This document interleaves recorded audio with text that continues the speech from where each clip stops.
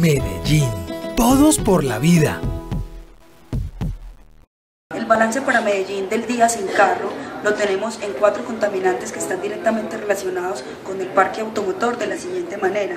En el PM10 la mayor disminución se llevó en el Politécnico Jaime Isaza Cadavid con una disminución del 30%, en el PM2,5 en la Universidad de Medellín Núcleo del Volador con un 26% de disminución en esta carga contaminante, en el dióxido de nitrógeno la mayor disminución se llevó en la Facultad de Minas con un 24% y una cifra que es muy importante para la ciudad es que en el monóxido de carbono la mayor disminución se llevó en el centro, en la estación Museo de Antioquia, con un 40,6%, cosa que nos alegra mucho porque quiere decir que estas acciones ambientales sí mejoran la calidad del aire de la ciudad que estamos respirando. Medellín. Todos por la vida.